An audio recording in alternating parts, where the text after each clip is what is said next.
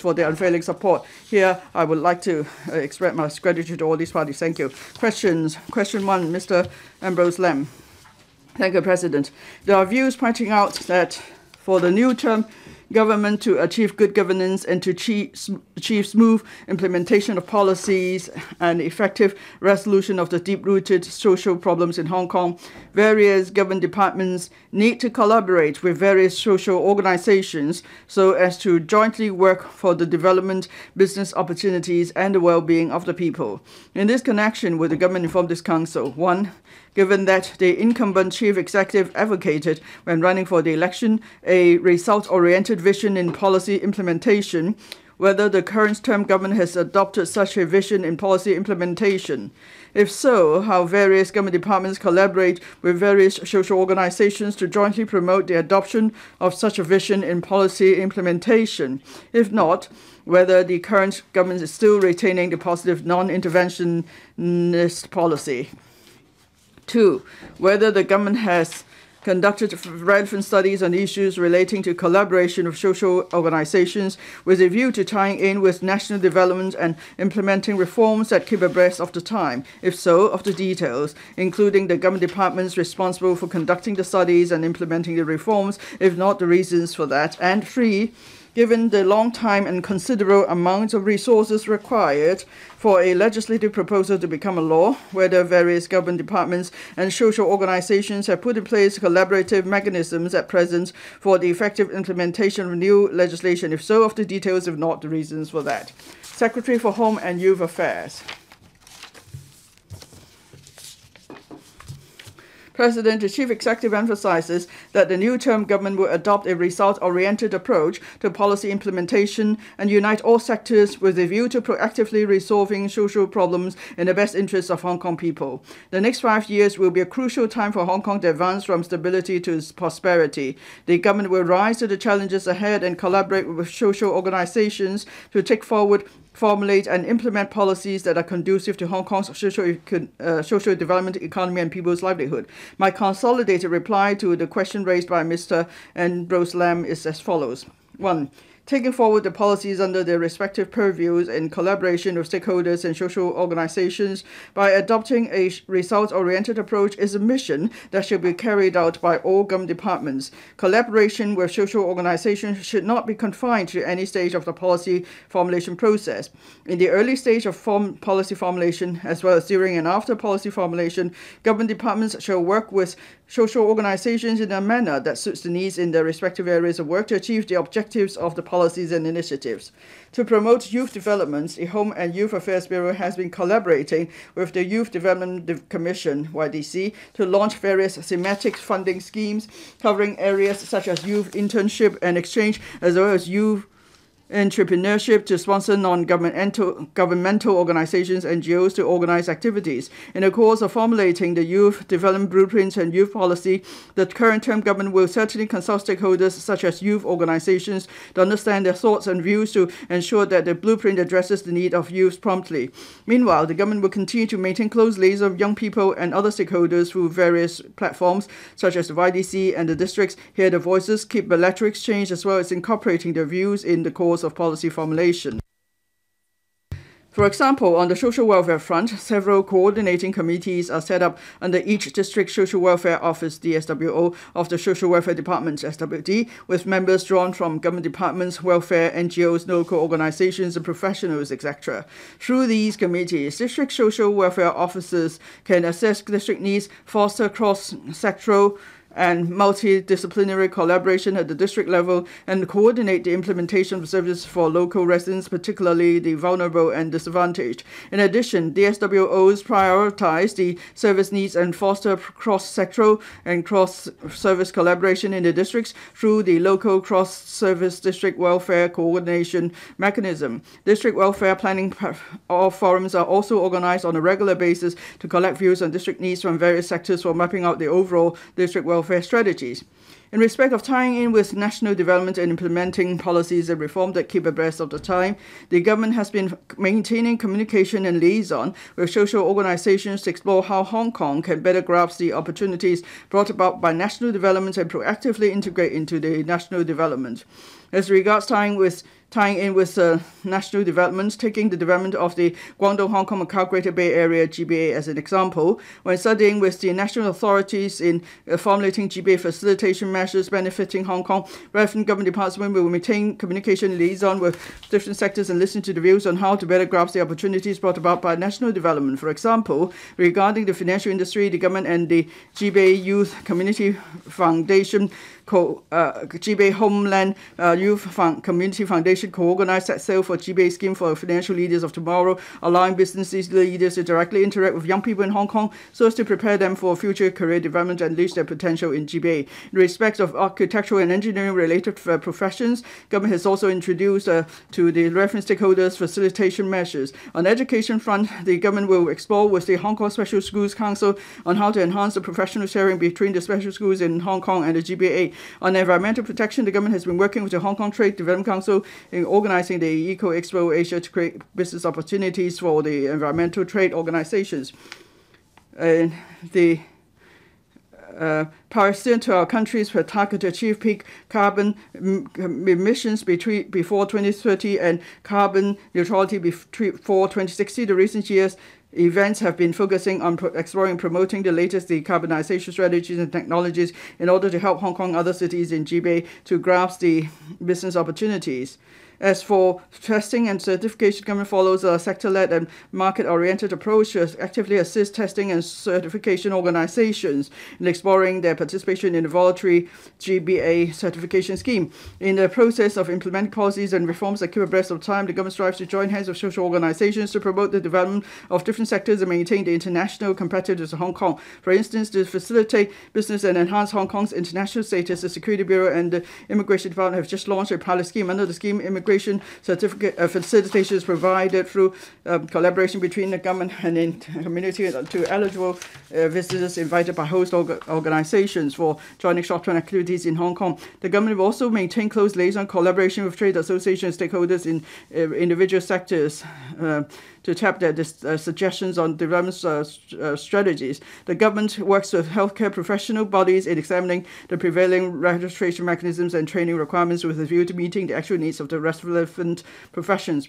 On the livelihood and district fronts, the government also attaches great importance to the participation of social organizations when implementing policies that keep abreast of time. In reviewing the policies, implementation, arrangement, and streamlining measures related to development, the Development Bureau will closely liaise with the relevant professional bodies and trade associations and formulate and enhance the implementation details from the perspective of users by gauging the views of stakeholders to ensure effective measures in place. The task force on transitional housing under the Housing Bureau provides one-stop coordinated approach and acts as a communication conduit to facilitate discussions among NGOs and relevant government departments to resolve various problems encountered to promote the development of district-based primary healthcare, the government is progressively setting up district health centers operated by NGOs in the 80 districts.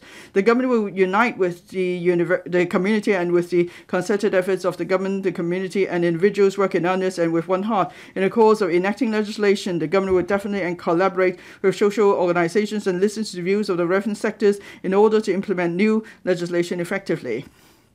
When formulating the legislative framework of the tenancy control and subdivided units, the government had taken in account the recommendations put forward by the task force for the study on tenancy control of subdivided units. The task force had organized a number of public forums and online meetings to gauge the views of members of the public and concerned groups. Also, the government has engaged NGOs to set up six district service teams to supplement the efforts of the rating and valuation department in promoting the new legislation district level and handling general inquiries. In June 2017, SWD set up the working group on the review review of ordinances and codes of practice for residential care homes, which comprise members from NGOs and private organizations operating residential care homes, RCH, academics, service users, carers, independent members, and representatives from the Hong Kong Council of Social Service to take forward the aforementioned uh, legislative proposals on the residential care homes elderly persons ordinance and the residential care homes persons with disabilities organized recommended by the working group. The government has organized various engagement sessions with stakeholders of the RCH sector to introduce the proposals to them and listen to their views. In fact, the, these are just some of the examples of government's collaboration with social organizations. The Undersecretary for Labour and Welfare and I stand ready to provide further information to members on supplementary uh, uh, to members supplementary questions. Thank you. Mr. Ambrose Lam. My question was how the government and social organizations could collaborate to implement legislation. So the key word is implement. The government's uh, first reply is that the government is um, result driven. Then um, it is the mission for all government departments to uh, formulate policies in collaboration with social organizations. So the reply is the government is still just going by its own way. Now, I in the whole main reply, uh, it, it keeps saying that the government will listen to views, but I don't want the government just to listen to views and then keep to its own position. Now, for social welfare issues, you will work with uh, social welfare groups but then for um, GBA development, uh, youth development, healthcare, environmental uh, issues, and so on, the government would just uh, listen to views. It would just keep conducting consultation exercises. In other words, over the years, the government has not been working with uh, social organizations to formulate and implement policies. The government keeps um, uh, holding consultations and talks. Uh, it thinks it's done much, but actually is out of touch with reality. By being down to earth in your in when you're working with social organization, you should work with the organization. You should you shouldn't just listen to views and that's it. Mr. Ambrose Leung, please come to your supplementary question.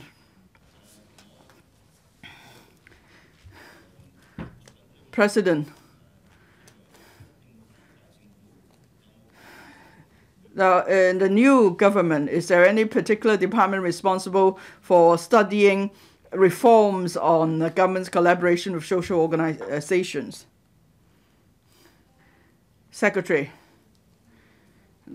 Now, in my ring reply, I mentioned that uh, well, the new government adopts a result-oriented approach. So when we formulate uh, every policy, we must uh, collaborate with um, social organizations and stakeholders.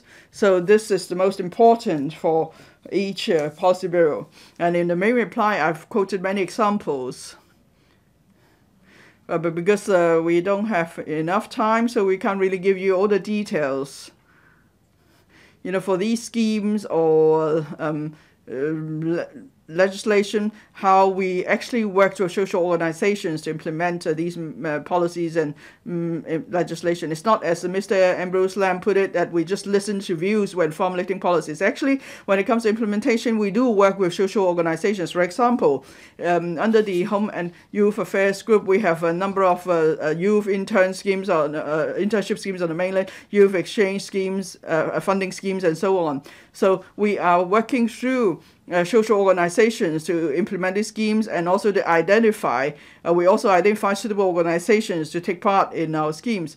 And then under the Home and Affairs Bureau, we also have uh, various uh, area committees, uh, uh, district fight crime committees, district fire safety committees, and um, so on. So we there are many so um, district organizations that help with the implementation of policies and initiatives. So you can rest assured we don't just listen to views when we form, uh, you know, formulate a policy, we actually take on board views expressed, and when we implement the policy, we will work together with social organizations.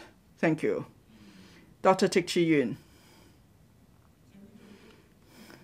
Social organizations or civic community you know, um, they've been actively uh, participating in Hong Kong's development and promoting its development. Some groups are concerned about the elderly, persons with disabilities, the um, disadvantaged, and so on. Many of their service targets, uh, their members are mostly uh, service users, so they know exactly what they the, what their service needs are. Now, the secretary said that there may be opportunities for these groups to be involved, but then uh, for many groups that we're in contact with, they tell us that uh, it's very difficult for them to communicate with government officials or to take be involved. So to step up collaboration with uh, these organizations, would the government uh, set a certain ratio on various uh, committees so that uh, these groups are able to take part in the discussion process and then the, government will, also be able to hear the views of these service users. Secretary. Thank you, President. I'm grateful to Dr. Chi-yuen for his views. Now, for the different policy bureau and departments, when we uh, when we um, try to identify suitable persons to be appointed to different committees, we will consider uh, first, uh, you know, uh, on the one hand, stakeholders, that is those in the sectors, and on the other uh, hand, uh, lay members. Uh, so with lay members, we will consider representatives of uh, relevant social organizations to join these committees. But anyway, I've heard members the members' view. When we uh, decide on the uh, membership of a committee, we would definitely make sure it's uh, more representative. Mr. Andrew Lam.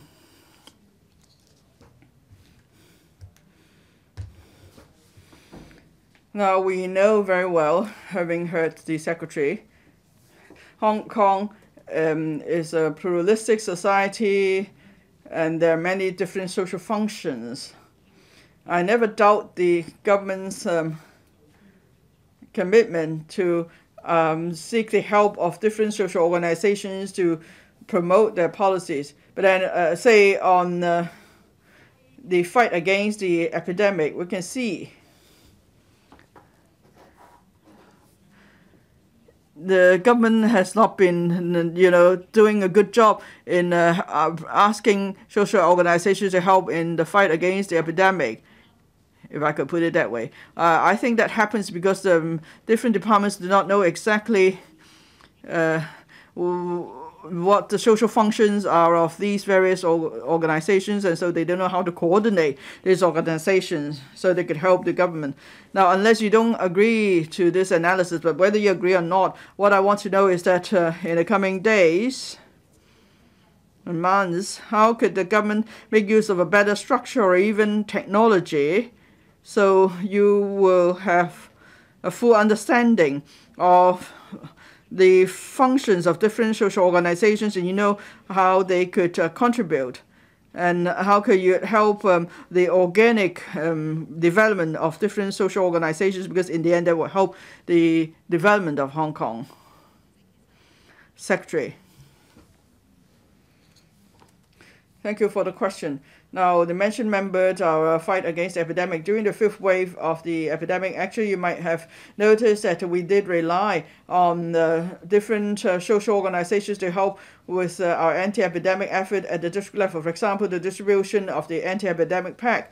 Now, we are talking about the distribution of a huge number of packs, and we uh, were we're most grateful to all volunteers who helped in this effort.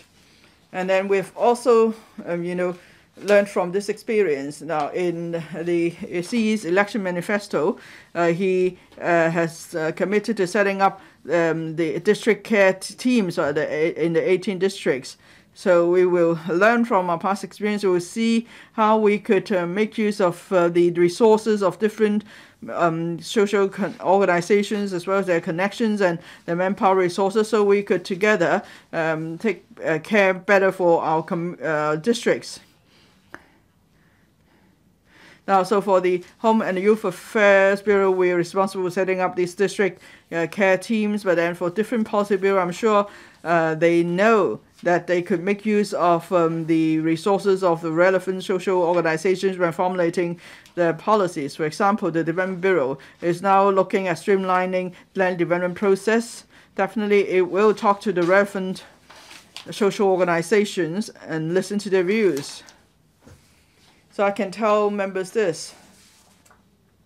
First, we will definitely find out the resources, the manpower, or the connections that um, social organizations have and that they could share with us. And then, uh, and then we will then uh, make good use of such experience. Mr. Michael Luk, thank you uh, strengthening collaboration between the government and the social organizations is an important element in enhancing governance. From uh, um, consultation to implementation of policies, there is need for collaboration with social organizations, and I'm sure we all know that. But then, from my own experience, I see that the uh, government really did not um, uh, uh, care enough about um, the views of uh, local organizations such as unions and so on.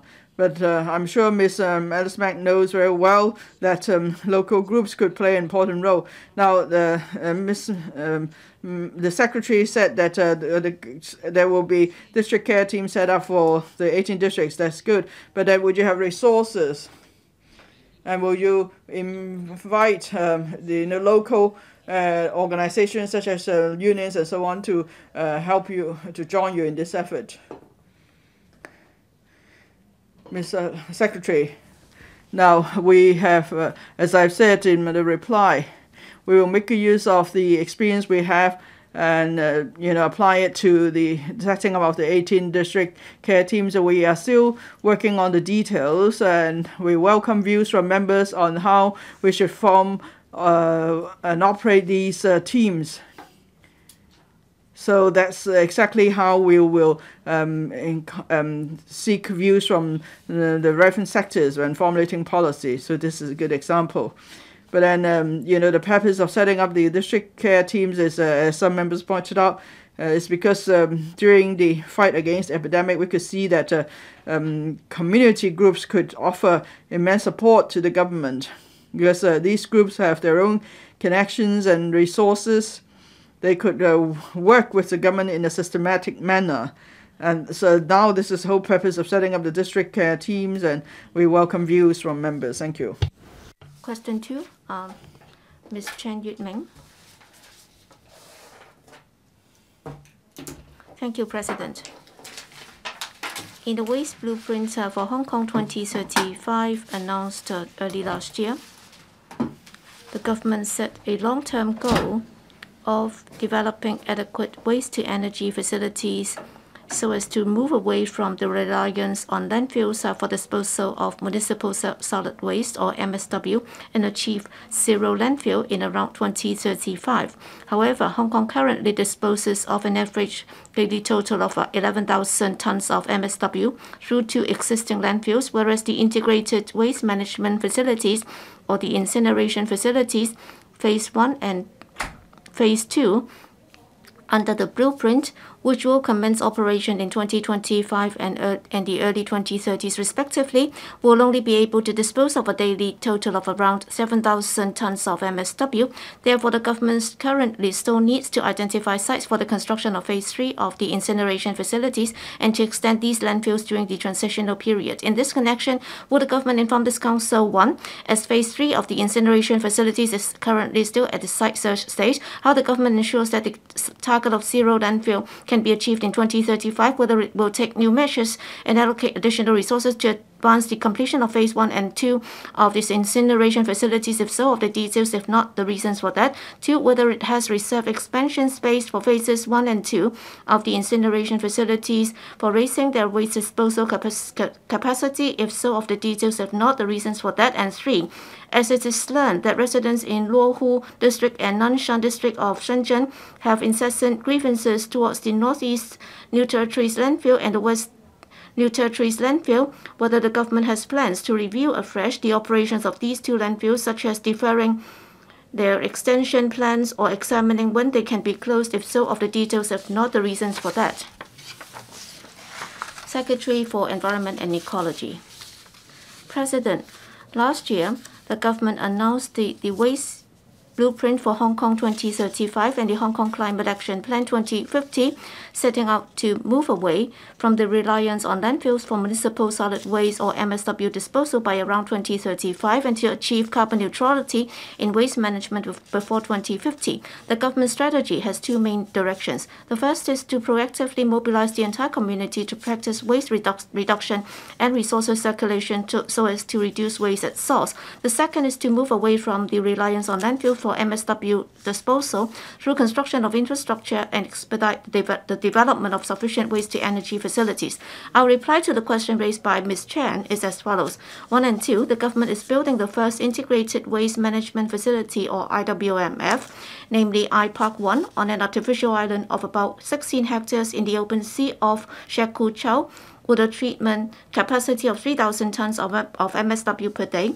The relevant reclamation works and construction works for seawalls and breakwaters have been substantially completed. The contractor is carrying out the foundation works on the artificial island and also prefabricating the boiler steel structure and its electric, electrical and mechanical parts at the prefabrication yard in Zhuhai. The prefabricated items will then be shipped to the artificial island for assembly, while the remaining works for the project will be continued.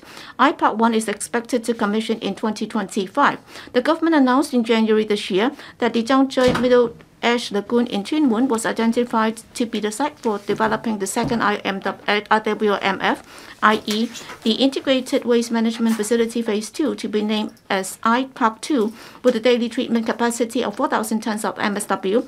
When planning for the development of IPARK 1, the government considered both Tsang Tsui in Tuen and the artificial island of Shek Kwu Chau were suitable sites for developing waste-to-energy facilities. Comparing with other locations in Hong Kong, the conditions of the Tsang Tsui site in Tuen are relatively mature for developing waste-to-energy uh, facilities, this will be conducive to the expeditious commencement and completion of the construction works for IPARK 2. We expect that IPARK 2 can be put into services no later than early 2030s to further reduce the use of landfill space for MSW disposal the Environmental Protection Department, or EPD, is now arranging for the engagement of consultants to carry out the detailed environmental impact assessment study and the technical studies for IPARK 2. The consultancy studies are expected to commence in December this year. Our goal is to achieve zero landfill by around 2035 through various waste reduction and recycling measures, coupling with adequate waste to waste to energy facilities so as to cope with the long-term needs for MSW management of Hong Kong. The amount of waste generation will increase with the economic and trade and population growth growth. Currently, we expect that in addition, in addition to IPARK 1 and 2, it is most likely that IPARK 3 uh, will be required in order to achieve the goal. Therefore, EPD is now commencing a territory-wide site search study in parallel to identify other potential sites suitable for developing more similar waste-to-energy facilities. For timely completion and operation of adequate waste-to-energy facilities required for Hong Kong, we are exploring the use of public-private partnership approach to pursue some of these facilities to ensure speedy construction of waste-to-energy facilities through the most efficient and cost-effective means.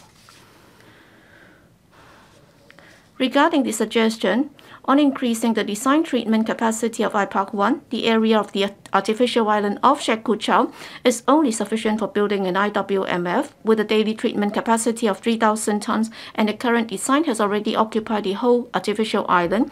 Therefore, it is technically not feasible to increase the treatment capacity of IPARK 1. As for IPARK 2, where Tsang Tsui on, in Tuen overlooking Deep Bay. Both sides of the site have been developed with other existing facilities given the geographical constraints. Together with the surrounding facilities, the site area available for development is limited, which is estimated to be merely enough, enough for building the proposed uh, main facility with a daily treatment capacity of 4,000 tons and its ancillary facilities, and there is virtually no space for further expansion. Third, Nowadays, Hong Kong needs to handle about uh, 11,000 tons of MSW and 4,000 tons of construction waste every day. Currently, the Northeast New Territories or NENT landfill and the West um, New Territories or WENT landfill are responsible for receiving MSW. The government is actively promoting the development of waste to energy facilities according to the strategy set out in the Waste Blueprint for Hong Kong 2035 with a view of uh, with a view to achieving the goal of a zero landfill by around 2035. However, before the full commissioning of adequate waste-to-energy facilities, Hong Kong still needs to have landfills for disposal of MSW. Therefore, it is necessary to extend the landfills to a limited extent during the transitional period and to increase the capacity of the existing landfills to cope with the disposal needs in the short to medium term. With the anticipated commissioning of IPARK 1 and one in 2025. Together with the landfill operation arrangements and associated traffic arrangements, it is expected that the total amount of, of MSW to be handled by the two landfills in the new territories can be reduced uh, by around uh, 3,000 tons per day. Upon the commissioning of IPARK 2, the NENT landfill will completely cease receiving MSW. By then, the development of the northern metropolis may generate a large amount of construction waste, which will not decay and be odorless. If construction waste will be disposed of at the nearby NENT landfill during the development of the northern metropolis, it can reduce the nuisance to residents caused by the long-distance transportation, while the odor and hygiene problems arising from landfilling of MSW will no longer exist. Around 2035, when Hong Kong has sufficient waste incineration capacity, the WENT landfill will also cease receiving MSW. Regionally, EPD has all along been actively maintaining close communication and exchanging views with the Shenzhen municipal government on the operational management of the NENT landfill and WENT landfill and their extensions. Shenzhen and Hong Kong sides will continue to maintain close liaison regarding issues associated with the two landfills. Thank you. Ms. Chan Yuet-ming. Well, uh, Secretary, in your reply, you said that uh, both Shenzhen and Hong Kong will maintain close liaison regarding issues associated with the two landfills. All right. Uh, this is uh, the pic- these are the pictures sent to me by netizens uh, in Shenzhen, and um, the landfill is right next to residential development. It's just two kilometers from down from the town center. So it's not just uh, affecting them, it's also hurting the residents in Ta Kwu It's also hurting their emotions or feeling about Hong Kong people.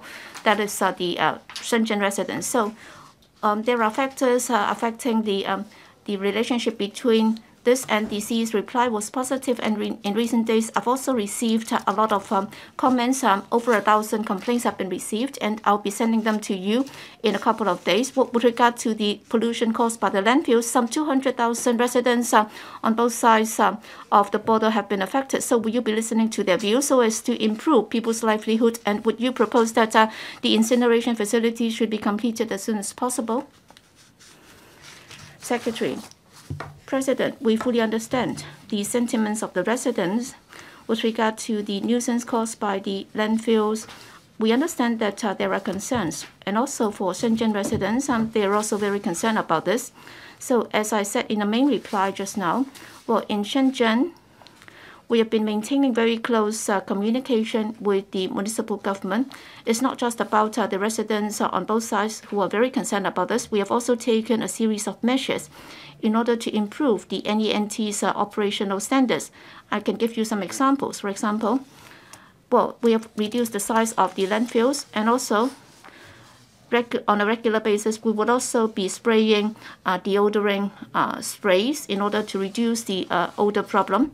And also in accordance with uh, the latest international standards and experience, uh, we would also um, improve the, um, the craftsmanship at the landfill in order to reduce odor.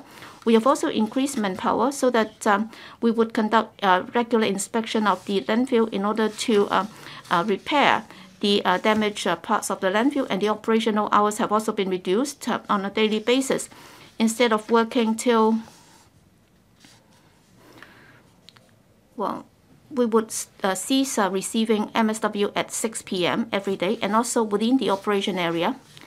We have also got some um, organic pools uh, which can also help reduce odor. We have also got um, enclosed operations in order to reduce odor. So we have taken proactive measures to reduce the problem. And I personally am also very concerned about their views, and therefore our colleagues would also be taking follow-up measures uh, or actions to, to, see how effective they have been. And if uh, you have any uh, comments to make, you can also contact me personally. Yes, uh, Mr. Chow Siu Chong, President, um, the NENT landfill has caused um, a lot of um, odor nuisance uh, to the Lo Wu and also Shenzhen residents. And in recent years, the problem has deteriorated. Even I personally have received uh, some feedback from Shenzhen residents hoping that the SAR government can do something concrete to improve the situation. And as said just now, well, the uh, Bureau and the department have been uh, liaising closely with the Shenzhen municipal government and yet uh, the problem is getting worse. So the CE said that uh, he would adopt a target-oriented approach. So I hope that something concrete can be done in order to improve the situation. So my question for the Secretary is this. In monitoring the performance of the contractors, have you done enough? So can you tell us, okay, for this operator, would he act in accordance with the contract signed with us so that um, on a daily basis, with regard to the um, garbage um, disposed of at the landfill, would they be covered? And also for areas outside of the landfill, you will have to enclose it. So have they done a good job? So will there be any problems that have not been identified? So I hope that you can do a better job. Thank you. Secretary, President, as I said earlier, we are making efforts in improving the operation of the NE NENT landfill. A series of measures have been introduced, and of course, uh, the honourable member was suggesting that we should do a better job in terms of our monitoring uh, efforts. Yes, uh, there are two things that we have been doing. Under the contract, uh, we do have resident site staff from the um, EPD who will act in accordance with the contract, and they will conduct daily inspection. Um, on site uh, to see if the contractor has uh, acted in full accordance with the contractual terms. And uh, secondly, well, in accordance with the laws of Hong Kong, we would also monitor the performance of the contractor to see if there is any leakage of uh, sewage or odor um, generated uh, from the uh, site. And if there are, then we would prosecute them accordingly. And indeed, there have been prosecution cases so we would not relax our efforts. We will strictly monitor the performance of the contractor. Yes, uh, Chu Kwok. Thank you, President. Uh, well, for the existing landfills in Hong Kong, they are causing a lot of environmental pollution affecting the residents' health. This is um, a hard fact. And if the administration says that uh, it's still in line with the standards and a lot of measures have been put in place, uh, I think you're deceiving yourself. Uh, well, Ta Kwu is an important development area. It's no longer suitable for a landfill to be located there. So will you consider relocating the landfill instead of using the uh, Ta Kwu as the landfill site? And uh, how can you expedite the construction of the uh, incineration facility? Thank you. President, as I said in the main reply, we are of the view that the best uh, way to deal with it is to adopt a two-pronged approach. Number one, we have to reduce waste at source. So we have worked uh, very hard uh, to reduce uh, waste collection. And secondly, we would also be expediting the construction of the waste-to-energy facility. For example, for iPark 1, it will be completed um, in 2025, and for iPark 2, we are actually pressing ahead with this, uh, and we expect that uh, to be completed um, in the early 2030s.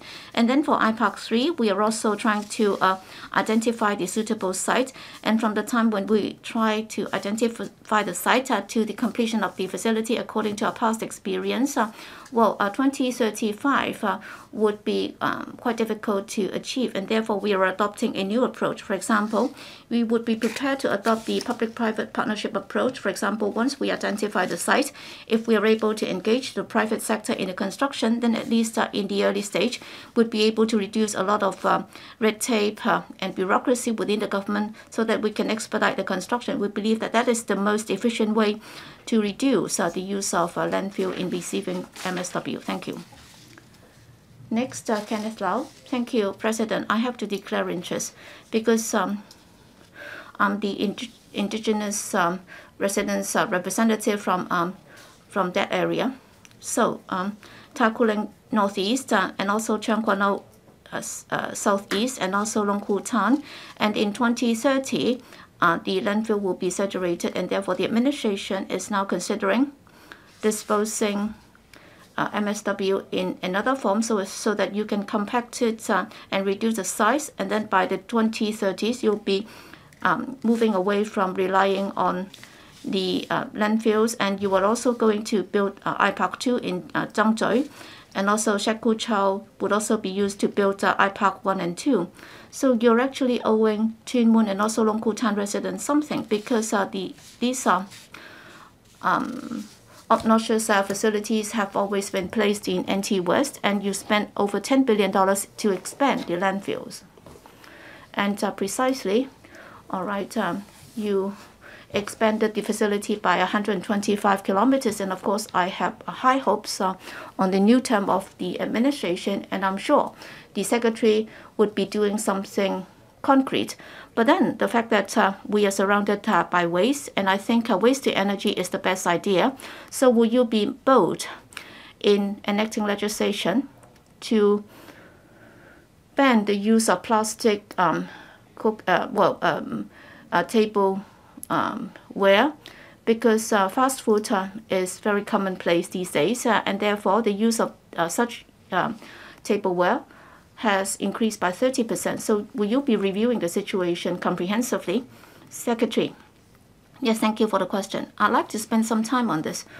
We are also we are actually developing waste to energy facility, and given the uh, latest uh, technology, it should no longer be treated uh, as obnoxious facility. It's not just about the technology because it will no longer generate uh, odor or cause any damage to health. In fact, in terms of the design, in many places, they have been designed into something that look nice, and it can also integrate uh, with uh, local or even recreational facilities. And in overseas countries, we have already got ample examples. In Hong Kong, we also have one. That is uh, in Tuen Mun Tsang Tsui. We have also got the uh, iPark uh, one. It's been used uh, to incinerate the um, the uh, contaminated soil from sewage treatment plant is a lot more polluted. But then if you've been there, you can see that it looks really nice. Uh, and there's um, even spa facilities uh, for the residents. And they have been very popular with, with the residents. So we will be adopting that approach in developing future waste to energy facilities. I'm sure that would help allay a lot of the concerns of the uh, residents. And also in developing iPark 2 in Tsang Tsui, there will also be a lot of uh, recreational facilities uh, for the enjoyment by the residents. I'm sure they will be well received. And also on the use of uh, plastic uh, tableware and so on, will you uh, phase them out? Yes, the answer is in the positive. We are actually drafting legislative proposals uh, how we can regulate uh, more stringently on the use of plastic uh, uh, uh, uh or one-off um, tableware. So we will be presenting the legislation to you before the end of the year. Thank you.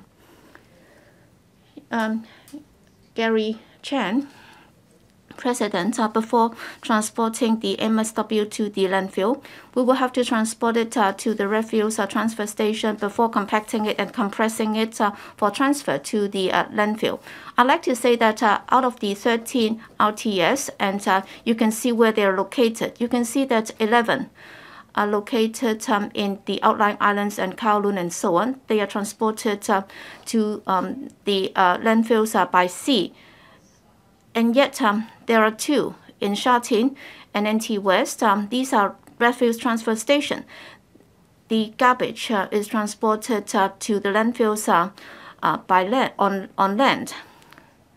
So the problem is for the Sha Tin RTS, on, on average, some 400 uh, trips are made by the refuse transfer vehicles, uh, and then about four and about 700 container vehicles are transporting the garbage to landfills, and they'll pass through toll highway and also our urban area, causing secondary pollution. And then for the Sha Tin RTS, it's been in use for 28 years.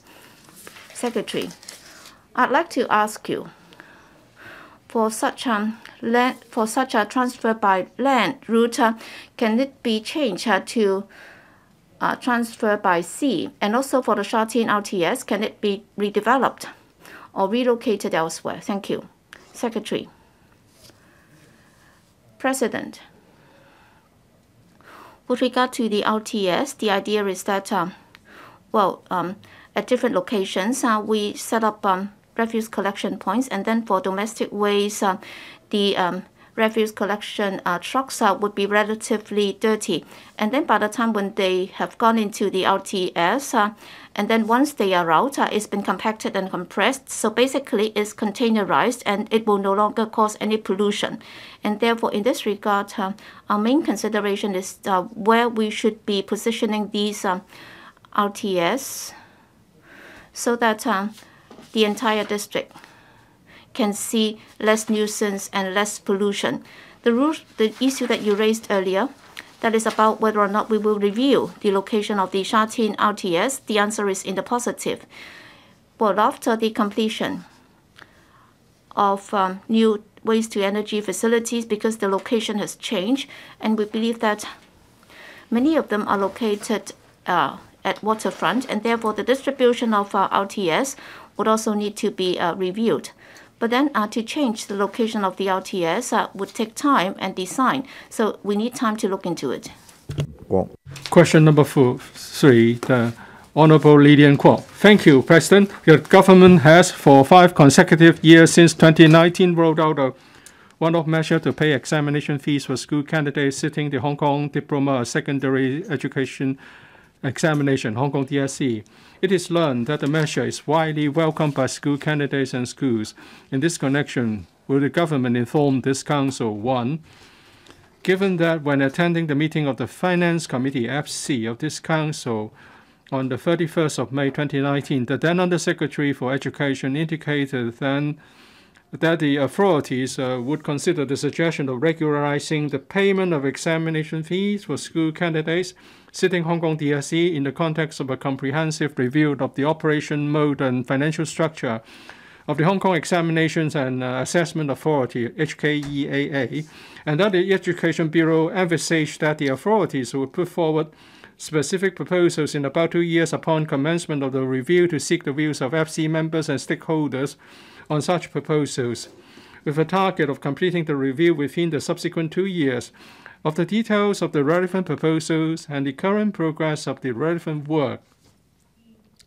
Two, whether it would consider according priority to regularizing the payment of examination fees for those Hong Kong DSE school candidates with financial difficulties, such as the beneficiaries of School Textbook Assistance Scheme, the Comprehensive Social Security Assistance Scheme, and the Community Care Fund Assistance Programs, if so, of the details. And three, in order to fi- finish the last mile for free secondary education, whether the government will regularize the payment of examination fees for Hong Kong DSE school candidates, including school candidates who are Hong Kong children study in the mainland cities of the Guangdong, Hong Kong, Macau, Greater Bay Area? If so, of the details. Secretary for Education. President, the Hong Kong Examination and Assessment Authority, Hong Kong EAA, which operates on a self-financing basis, is a statutory body established in 1977 under the Hong Kong Examination and Assessment Authority Ordinance Cap 261. Its main statutory responsibility is to conduct the specified examination, which currently refers to Hong Kong Diploma of secondary education Hong Kong DSE examination. It is therefore the HKEAA's primary duty to professionally administer the Hong Kong DSE examination and to provide fair and just assessment for all candidates. In considering in considering the economic outlook and the financial position of the government at the time, the Financial Secretary announced a number of one-off relief measures in the budgets of 2018-2019 to 2022-2023 which include the proposal to pay the examination fees for school candidates sitting for the 2019 to 2023 Hong Kong DSE examinations. These one-off relief measures were not recurrent subsidy. Our reply to the Honourable Lillian Kwok's question is as follows. One, in an effort to implement the above relief measures in the 2018-19 budget, the Education Bureau EDB sought the approval of the Finance Committee of LegCo in May 2019 for new commitment amounting to $160 million to pay the examination fees for school candidates sitting for the 2020 Hong Kong DSE examination. At the meeting, members of the Finance Committee suggested the regularization of Hong Kong DSE fee waiver. The EDB replied that the suggestion would not only involve a number of important complex policy issues, but also relate to the mode of operation and financial structure of Hong Kong EAA as an independent statutory body which operated on a self-financing basis under the Hong Kong EAA ordinance. The EDB will consider the suggestion of regularizing Hong Kong DSE fee waiver in the long run while conducting the comprehensive review on the mode of operation and financial structure of the Hong Kong EAA. It was envisaged by the EDB that the review will come up with concrete proposals in about two years' time for consultation with members and stakeholders with a view to completing the review in a further two-year period. The comprehensive review on the mode of operation of Finance Committee of Hong Kong EAA has subsequently been completed. At a meeting of the panel on education of LegCo on the 5th of February 2021, the EDB presented the discussion paper titled The Financial Structure of the Hong Kong EAA and Initial Thoughts on its Long-Term Funding Options to members and sought their views on the long-term funding options of Hong Kong EAA. The EDB pointed out in the electrical paper dated the 5th of uh, February 2021 that the examination fee is in general charge on the user pays principle. The Hong Kong DSE examination fees collected for the financial year 2019 to 20 could only cover about 55 uh, 53% of the operating cost. The cost of examination and the average examining fees charged a typical candidate taking six subjects in that year will amount to $5,957 and $3,132 respectively, while the shortfall were covered by other income. The Hong Kong EA has been very cautious and prudent in handling the adjustments of Hong Kong DSE exam fees and the substantial costs for the candidates. On the other hand, the additional costs arising from the special arrangements for candidates with special education needs, SEN, is also fully borne by the Hong Kong EAA. Such SEAs, including the provision of special exam centers, special question papers, and serial aids and invigilatory relation arrangements are to provide a more inclusive environment for SEN candidates. And it is observed that the number of candidates with SEN has doubled from 2011-12 to 2019-20, resulting in a corresponding increase in the expenditure on ESSAs. The current examination fee for SEA candidates is set at the same level as other candidates. To ensure that the candidates of SEN can be equitably assessed under suitable conditions, the legislative paper stated that EDB will discuss with the Education Sector for the best and most economical ways of subsidizing SEN candidates for attending Hong Kong DSE exams.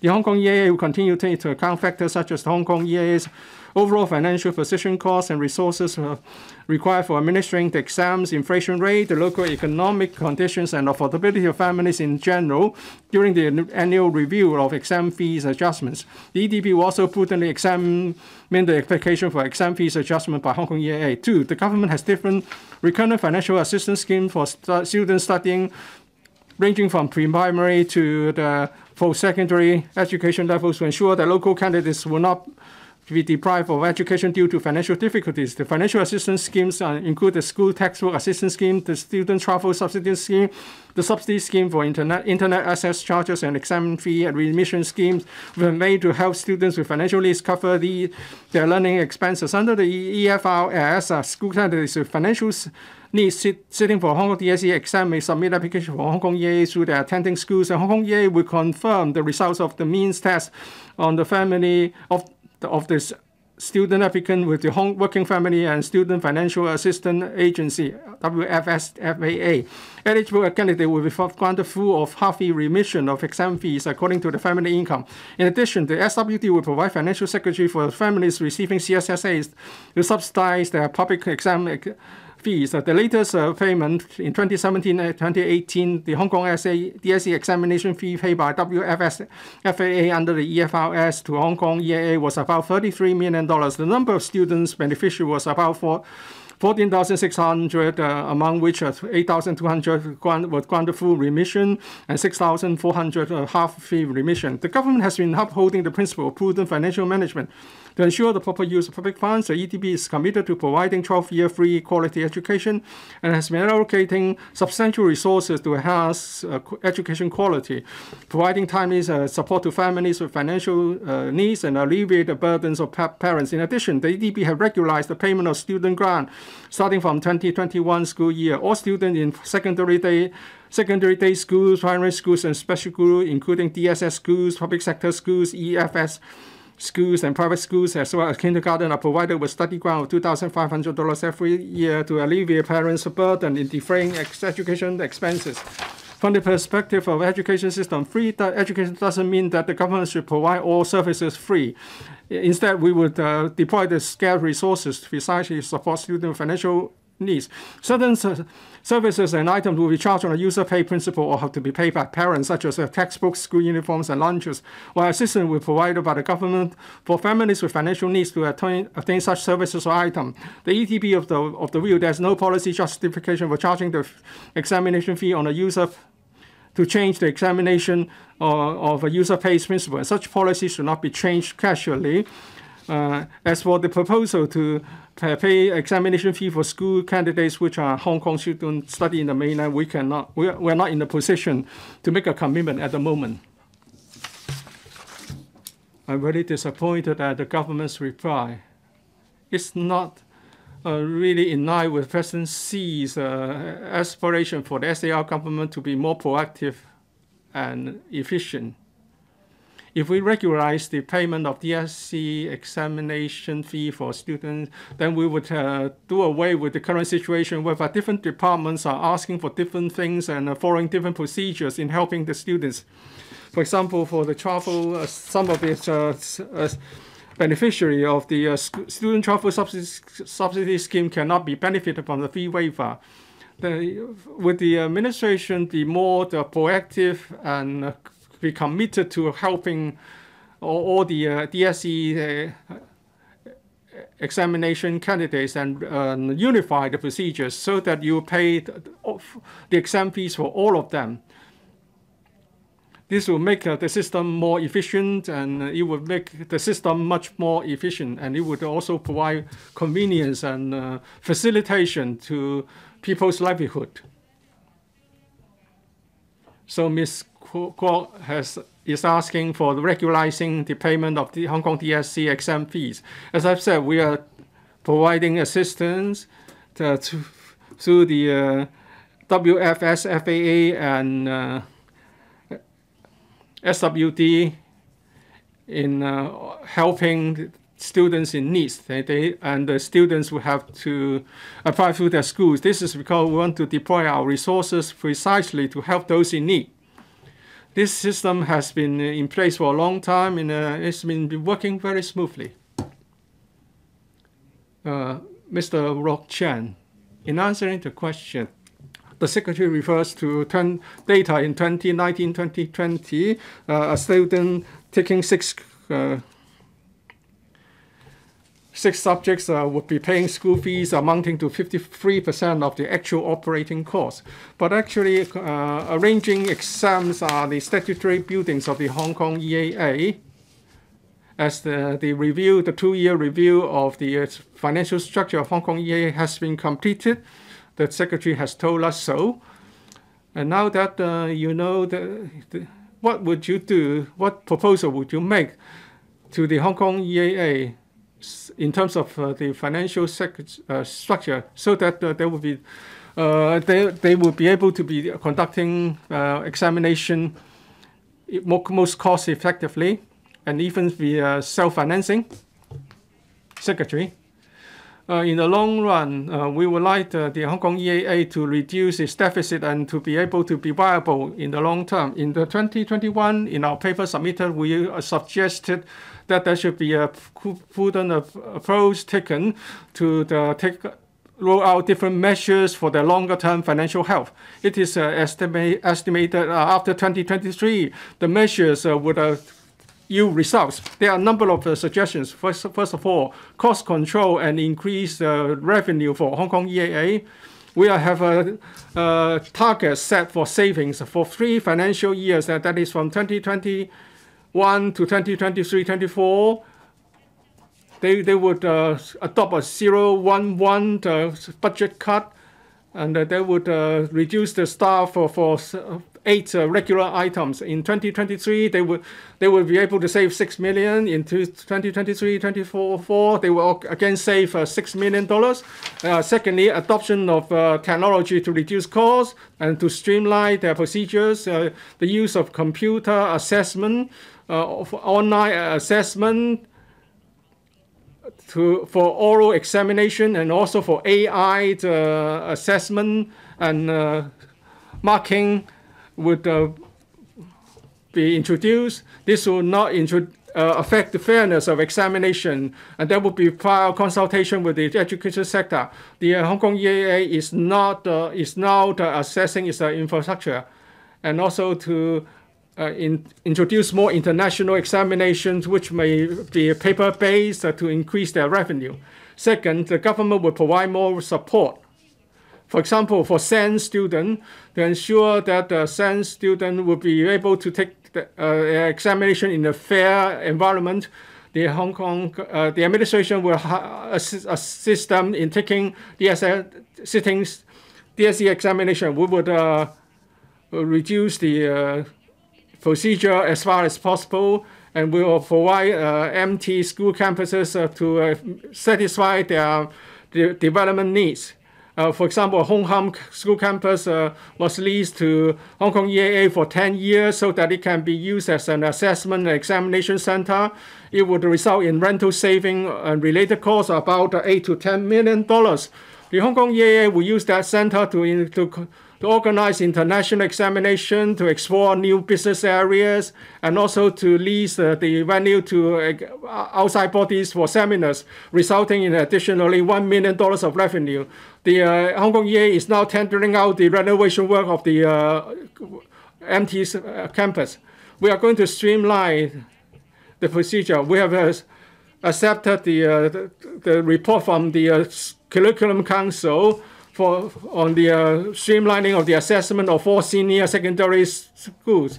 For example, in uh, the, the uh, lib liberal studies uh, stu subject will be replaced by a civil and uh, independent, and that independent research uh, component of the examination will be reduced, and there will be mainland visits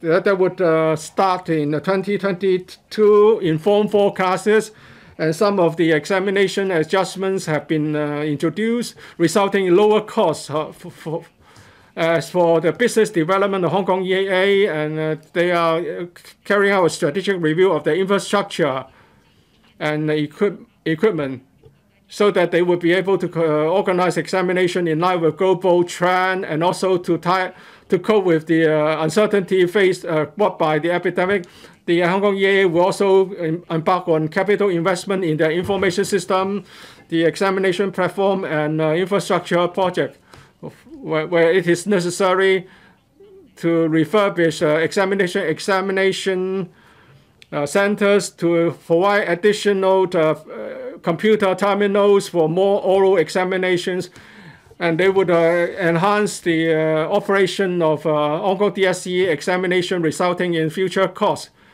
The Education DB has utilized uh, $366 million approved by FS, and also in if need, we will provide special funding to Hong Kong EAA to satisfy the, the, their development needs and to make sure that the Hong Kong EAA can uh, ensure it's a longer term and healthy growth of the organization. Mr. Benson Luk. In the main reply, the secretary uh, explains why uh, the government will not uh, regularize the payment of uh, examination fee for the candidates. And uh, mainly it's about the user pays principle. Well, what, what, it would be fair if we are able to choose to use the service in question or not. But for uh, secondary uh, schools, uh, taking the DSE examination is a must. Uh, they, they have no choice. So I'm afraid this uh, user pays a principle is really appropriate here. I don't think it's really appropriate here. But paying examination fee for ca candidates is a move of uh, kindness for their families in 2023 budget, the annual cost is about $149 million compared with the uh, overall expenditure of the government It's not a really big sum. So I believe this is, this is in line with prudent financial management principle. Uh, my question is, if we are to uh, regularize the payment of exam fees for school candidates, uh, what, what more should would, would it be would be needed to do this? Apart from the user pays a principle so that uh, we can uh, maintain the flexibility in offering the fee waiver and uh, that the government can uh, use the resources for more urgent and need more urgently needed areas. If we use the uh, we pay the school fees for and uh, give the money to the DSC for exam, it would affect uh, the public finance principle and also the Hong Kong EAA as an independent statutory body. It operates uh, on a self-financing basis as an independent uh, statutory body. If we uh, take up the the bill, the Hong Kong EAA would become a government subsidized body. This will affect uh, the position of Hong Kong EAA in the Hong Kong EAA ordinance and also the nature of Hong Kong EAA as a financially independent statutory body. And, uh, and th this is not really in relation to the long-term healthy growth of Hong Kong EAA, not quite beneficiary, not quite beneficial. If we want to support the candidates, uh, actually annually, depending on the needs, uh, we are providing sufficient assistance in the future for SEN students and the related uh, subsidy, we would uh, simplify the procedure. I believe uh, by doing this, uh, we can uh, help those who are really in need precisely and, to, and to the point. Mrs. Regina Yip. President, I don't agree to the across the board approach proposed to pay DSE examination fees for all candidates. This may result in waste. Resources should be deployed for the most for those in need. But Secretary, we should uh, try to uh, compress or reduce the expenditure of Hong Kong EAA as far as possible. For example, WKCDA is facing a big deficit, and we should try to uh, reduce the expenditure as far as possible. And you have tried to streamline the examination arrangement. I know the Hong Kong EA also offer uh, practical examinations uh, with only 20 to 30 candidates. Perhaps uh, such examinations should be cancelled because uh, with more papers uh, and more examinations organized, the higher the cost. And also the, uh, the, the fees asked for reviewing examination result are very expenditure. Uh, secretary, you should try to ask them to reduce their expenditure because uh, with a dwindling student population, the deficit is going to be larger. We would uh, regularly review the curriculum and the course of examination uh, and the candidates uh, taking such examination. Uh, but at the same time, we, would, uh, we are committed to providing quality education, uh, education service. Hong Kong EA has been adopting positive measures to cut expenditure and explore new revenues. We have put a put a cap on the uh, staff numbers, uh, reduce overtime pay, reduce uh, rent expenditure, provided that the quality of public examination will not be uh, compromised. Uh, we would uh, re uh, regularly review their manpower resources and also uh, other measures to reduce uh, exam costs. Question four, the Honorable Lam Chun-sing. Thank you, President. The Hong Kong Observatory issued a total of 116 very hot weather warnings from 2015 to 2019. Last year alone, the number of very hot days even hit a record high of 54. On the other hand, the number of heat stroke related work injury cases registered at the Labour Department LD from 2013 to 2017 was 100. On preventing employees from suffering heat stroke at work, with the government informed this council one of the respective numbers of heat stroke related work injury and fatal cases registered at LD in each of the past three years.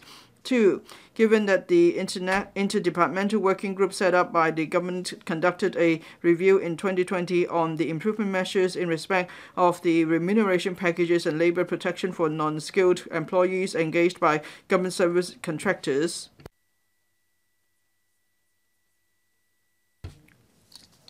and it recommended in its review report that contractors be required to provide uniforms with dry fit properties for non-skilled employees engaging in outdoor work in summer and that measures on preventing heat stroke such as provision of suitable work arrangements and supply of cool potable water be included in the tender briefs as guidelines for good practice of the latest implementation situation of the relevant recommendations and the current num total number of non-skilled employees who have benefited from such recommendations and three as the high temperature labor protection measures implemented by the People's Government of Guangdong Province stipulate that where the temperature reaches above 37 degrees Celsius to below 39 degrees Celsius, the duration of outdoor work of employees at open areas shall not be more than six hours, and where the temperature reaches above 39 degrees Celsius, outdoor work at open areas shall be suspended. Whether the authorities will, by drawing reference from the relevant practice, enact legislation on employees working outdoors under very hot weather including making it a statutory requirement for conducting the risk assessments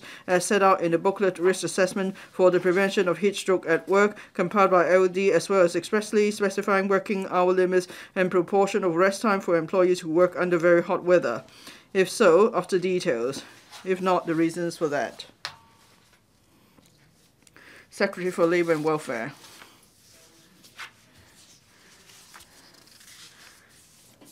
President, having consulted the relevant departments, my consolidated response to the member's question is set out below. One, the number of work injury cases related to heat strokes registered by the Labour Department LD in the past three years, that is 2019, 2020, and 21, are 20, 12, and 22 respectively. The figure in 2021 is uh, provisional, as some cases are still under investigation. There were no fatalities in these cases. Two, the Labour and Welfare Bureau set up an interdepartmental working group in 2020 to review the improvement measures for both the remuneration packages and labor protection of non-skilled employees engaged by government service contractors, GSCs. The working group consisted of members from four departments that use more non-skilled employee services, such that is the Food and Environmental Hygiene Department, Leisure and Cultural Service Department, Housing Department, and Government Property Agency. The working group submitted a report in January 2021 recommending further measures to improve the working environment and the remuneration packages of non-skilled employees. To prevent heat stroke at work in hot environment for non-skilled employees, the report recommended 1 where necessary, including clauses in service contracts tendered on or after the 1st of April 2021, requiring GSCs to provide uniforms with dry fit properties to non-skilled employees engaged in outdoor work in summer. And two, incorporating heat stroke prevention measures promulgated by the LD into the tender documents as a good practice guideline. The measures include prevent, providing suitable work arrangements, making use of mechanical aids in work to reduce physical demands, scheduling regular breaks for employees to rest in cooler areas during very hot periods, and providing cool, potable water for employees to drink at all times. The above four major procurement departments have been implementing the recommendations of the working group progressively from the 1st of April 2021 and suitably adding the recommended measures in the tender documents when renewing the service contracts. Currently, a total of 12,369 non-skilled employees benefit from the relevant service contracts. As the contracts for employing non-skilled employees to provide services generally last for two to three years, the above four departments are expected to fully implement the relevant recommendations in 2024, and the total number of non-skilled employees benefiting from the arrangement will be more than 38,000 by then. 3. Heat stroke is caused by heat stress. The level of heat stress at work depends on many factors apart from temperature. The factors also include humidity of the working environment, airflow, heat, radiation level, workload of employees, clothing worn by employees, and whether employees are accustomed to torrid environments, etc. The government therefore considers that it is not appropriate to regulate outdoor working hours and rest periods based solely on temperature. Taking into account that summer temperature in Hong Kong is getting higher and higher, employees who work outdoors do face a certain risk of heat stroke. The LD is actively considering formulating more detailed and specific guidelines based on Hong Kong Heat Index from the Hong Kong Observatory to require employers to take appropriate heat stroke prevention measures in extremely hot weather. The LD has always been concerned about the risk of heat stroke faced by outdoor workers. It launches a large-scale promotional campaign on heat stroke prevention every summer and promotes the importance of heat stroke prevention through various media and online platforms. Since last year, the LD and the Occupational Safety and Health Council have launched the Portable Waist Fan Sponsorship Scheme for Small and Medium Enterprises (SMEs) to provide subsidies to SMEs in industries with a higher risk of heat stroke to purchase waist fans. According to Section 6 of the Occupational Safety and Health Ordinance, uh, employers are required to provide for or maintain plants and systems of work that are, so far as reasonably practicable, safe and without risks to health. Such requirements include the implementation of appropriate risk control measures at the workplace to protect employees from heat stroke while at work. To assist employers in fulfilling their duties, the LD has issued a guideline on risk assessment for the prevention of heat stroke at work, which details the various risk factors that should be considered when conducting risk assessments and recommends corresponding control measures for each risk factor. The LD conducts inspection and law enforcement to ensure that employers comply with these legal requirements, including checking whether employers have referred to the above mentioned guideline to assess the relevant risk factors for heat stroke at work and take corresponding control measures as far as reasonably practicable to protect the health of employees. If our inspection reveals that an employer has failed to refer to the guideline to carry out the required risk assessment and take appropriate control measures, corresponding enforcement actions will be taken. Thank you, President. Ms. Lam Chun-sing. Thank you, President. Now, I had to attend uh, some of the celebration activities for the July 1st. So, uh, in the end of June, I uh, took the uh, PCR test almost every day at mobile um, stations set up by the government. These stations were uh, set up on hard uh, uh, service football pitches. And even if there are tents, you know, is and uh, and there are fans, is um, the the environment is stuffy, and colleagues said that uh, the working condition is, was tough. So, in the reply, the government said that uh, there shouldn't be requirements uh, on the rest periods and uh, work hours for people. Now, in the next few months, that we will be seeing many very hot weather warnings. So, in the next few months, what more could the government do to promote awareness, and so people will comply with the uh, risk assessment guidelines? Secretary. Now, we have already um, introduced the uh, guidelines on risk assessment for prevention of heat stroke at work uh, uh, for a long time. And, you know, every year during the summer, of course, uh, that's the peak period, and then we will use different channels to publicize the message. In the past, we've been using mostly conventional channels, but then in recent years, of course, there are many new media platforms. So we try to publicize the message for both employers and employees and employers have to say follow the guidelines such as the temperature, humidity, the uh, um, um, uh, workload and so on and, and and so employers will do the risk assessment. It's been working well and then many we encourage employers to make use of the risk assessment form so that uh, uh the workers could still carry out work um, um, under the heat. And then in and also labor department has been carrying out enforcement action in uh, 20 21, we've uh, conducted some 26,000 inspections. Uh, um, we would uh, issue warnings or even take up prosecution in serious cases. Thank you. Mr. Chau Siu-chung. Thank you, President. In the reply, the Secretary said that well, we shouldn't just um,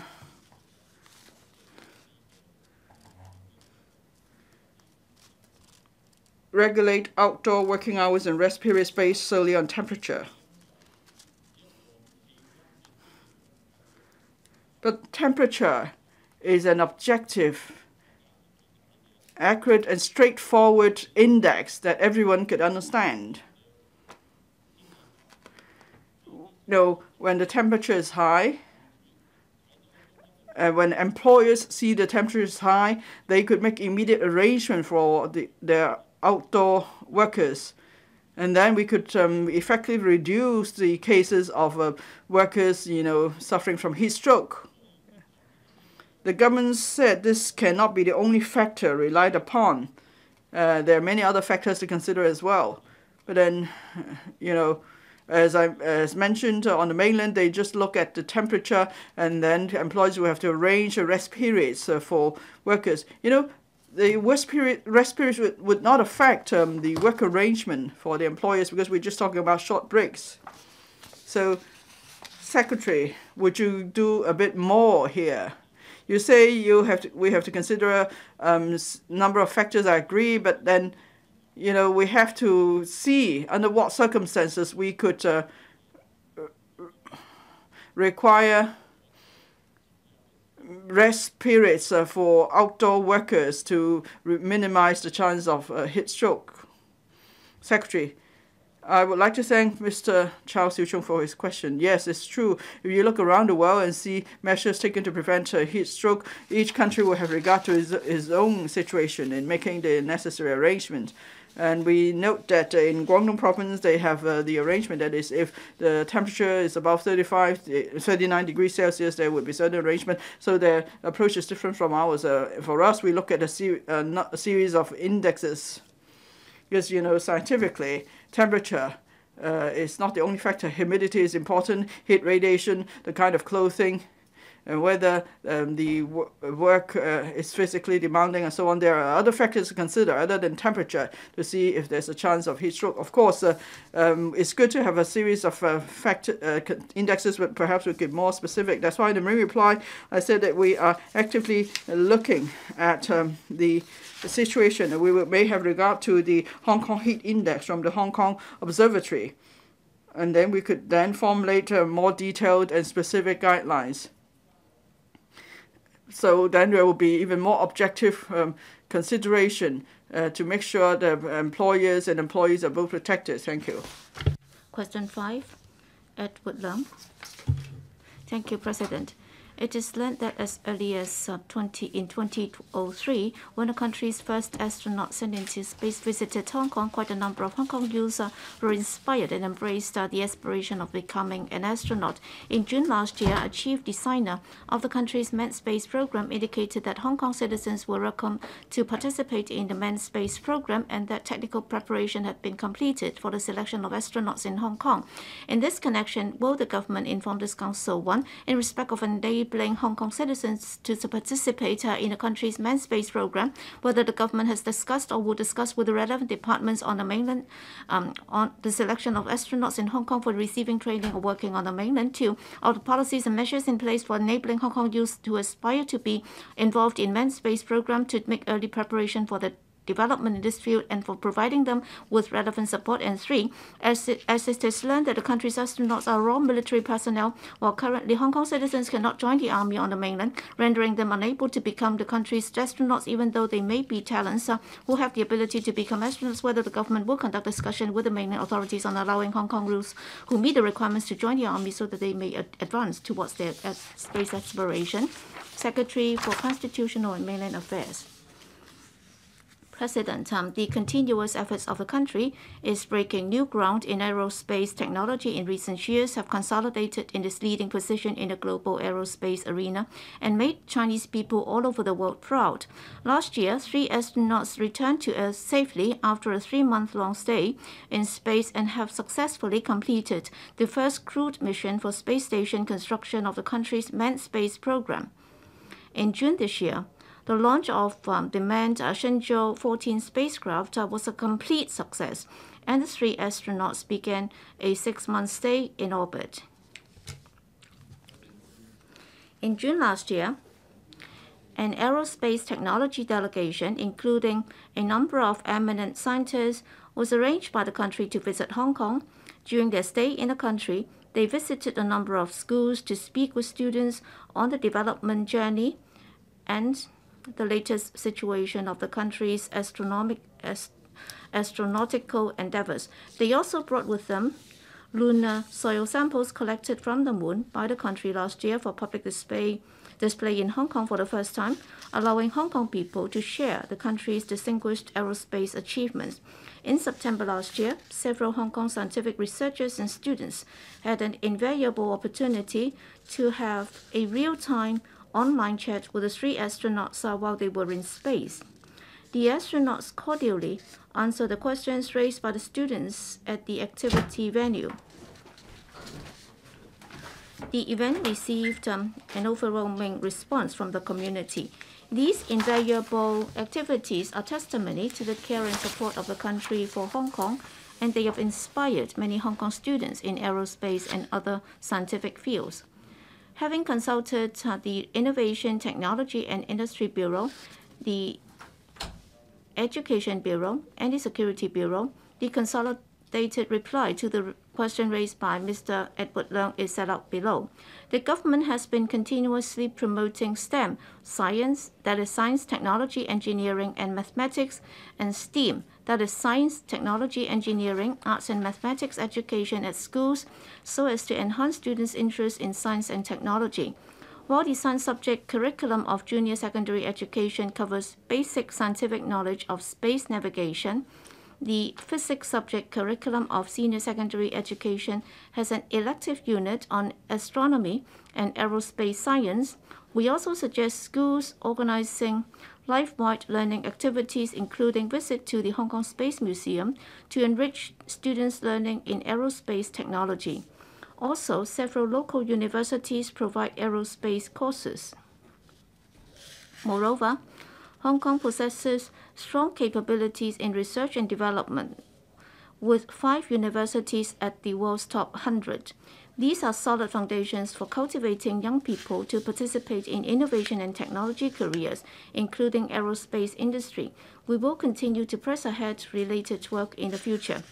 Although the country's astronauts who have participated or are participating in a manned space program are all from the background of Air Force pilots, we understand that uh, besides Air Force pilots, some of the 18 astronauts of the third batch selected in 2020 are professionals of other streams, such as uh, scientists and engineers of uh, research institutes, specialists of research units, etc. They are now undergoing relevant training. In fact, Hong Kong has been participating in the aerospace industry of the country. For example, the um, Hong Kong Polytechnic team developed um, this surface sampling and packing system, and um, they have assisted uh, Chang'e 5 uh, in completing the lunar sample return mission. Besides, um, the Mars landing surveillance camera has, camera has provided support uh, to Mars landing of uh, Tianwen 1. Over the years, the government has been nurturing innovation and technology talents, encouraging the implementation of popular science education at schools, and strengthening the students' knowledge in and application of information technology outside curriculum. On top of the regular curriculum, we launched the IT Innovation Lab in secondary schools and Knowing More About IT program to subsidize primary and secondary schools to organize information technology related extracurricular activities, and the STEM internship scheme to subsidize universities to arrange short term internship for the students taking STEM related programs, with a view to fostering their interest in pursuing careers in IT in future and nurturing more IT talents for Hong Kong and the country. Moreover, to attract more outstanding international research talents to work in Hong Kong, we launched the Global STEM Professorship in June 2021, which provides funding for the universities to recruit internationally renowned IT scholars and their teams to take up teaching or research work in Hong Kong with a view to expanding the local I&T talent pool. Besides, the Hong Kong Space Museum has organized since 2009 the Young Astronaut Training Camp to select around 30 local secondary school students during summer holidays, each time to undergo astronaut training program in Beijing, Jiuquan, etc., at which uh, which included undergoing simulated astronaut training, meeting with aerospace specialists and astronauts, etc., in order to understand the achievements of aerospace technology of the country. President, the aerospace industry of a country is developing rapidly. Hong Kong possesses outstanding R&D capabilities and a university team which takes part in space exploration projects.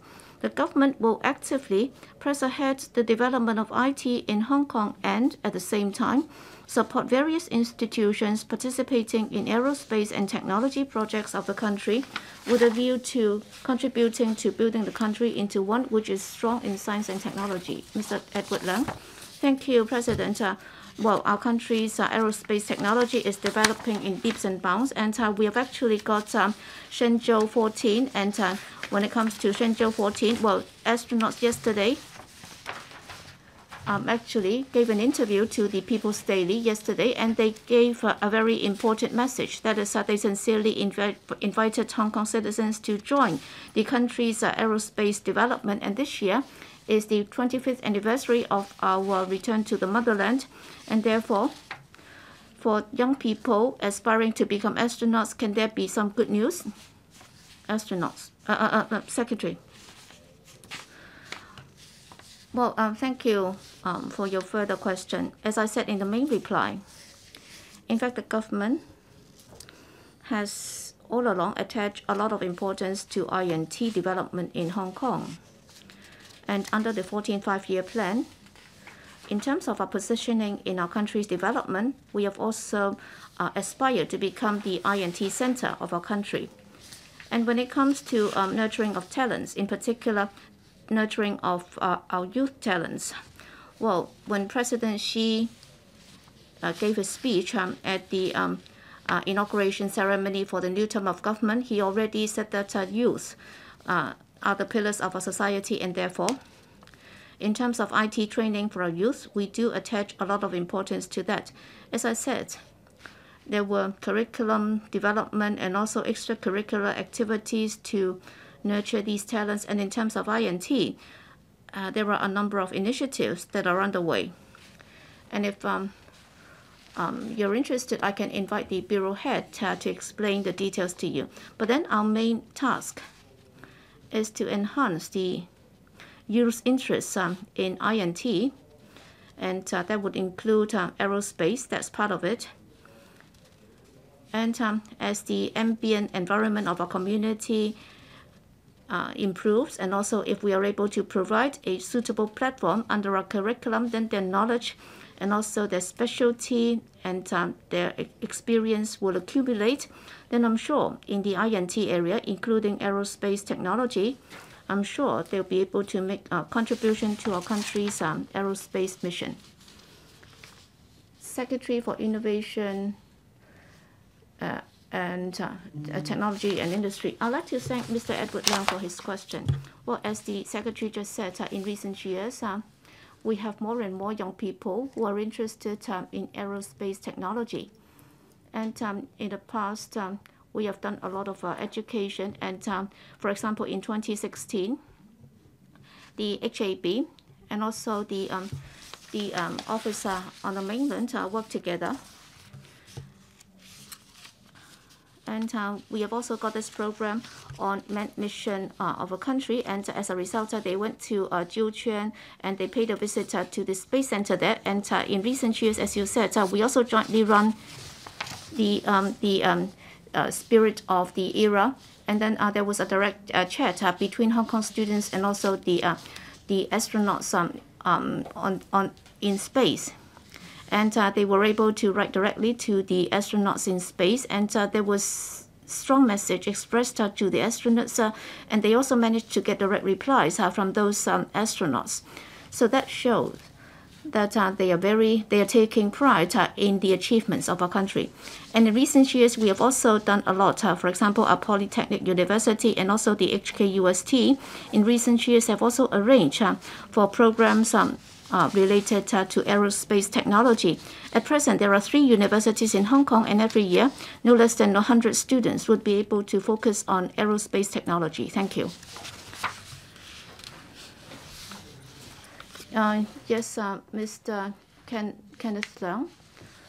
Well, President, I think young people should be involved um, in the uh, major missions of our country, and that would also enhance uh, their sense of um, uh, identity because um, Hong Kong students uh, have fewer opportunities to be directly involved um, in aerospace mission. And uh, taking advantage of aerospace technology development, that would be a very good opportunity for us uh, to get involved. And therefore, I'd like to know whether or not we would make, take advantage of the success that we have achieved uh, so far. How can we enhance the uh, sense of pride and sense of identity of our young people in our country? Secretary for uh, Constitutional and Mainland Affairs. Thank you, President, um, for the question. Well, as I said in the main reply, all along, we attach a lot of importance uh, to young people's development, in particular in the area of uh, innovation and technology. And of course, uh, when it comes to innovation and technology, aerospace technology is um, an indicator of the consolidated strength of our country. And uh, with the rapid development in aerospace development as a Chinese national, our sense of uh, belonging and sense of pride and sense of identity, uh, sense of identity have been enhanced. Um, that's precisely the reason why last year, after the completion of the mission, we immediately arranged for the um, aerospace technology delegation to visit Hong Kong so that we can take advantage of such activities to inspire the students so that uh, they will have greater interest um, in I&T as well as uh, aerospace technology. And we will continue with that effort. Uh, other than doing that uh, in the uh, school curriculum, we will offer appropriate programs to enhance the uh, students' um, interest and knowledge.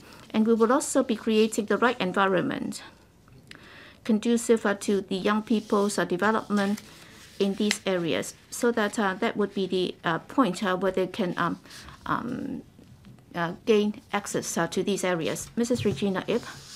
President, uh, can I ask one of the Bureau Directors to explain to us in simple terms that is, um, well, for uh, non-military Hong Kong citizens, if they're interested in aerospace activities to really travel to space, whether in terms of their physical ability, uh, age, and also um, their knowledge area, um, how can they be qualified? And also, will you also assist the central authorities in selecting the right uh, uh, members of the community so that they can also join in such missions?